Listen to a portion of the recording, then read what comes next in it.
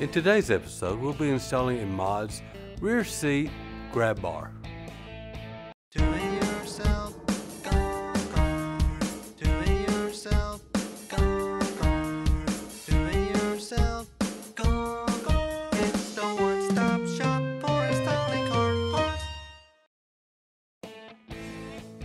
Today we'll be using a 15mm socket and a ratchet.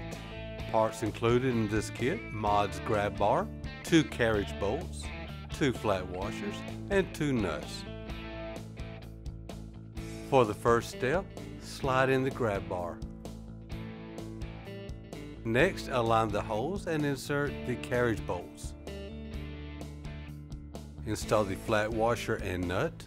Next, we will bolt it into place.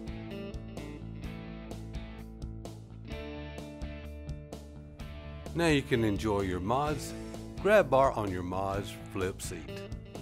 Don't forget to like and subscribe and for all your golf cart parts accessories check out DIYGolfCart.com and make sure to check out our other videos.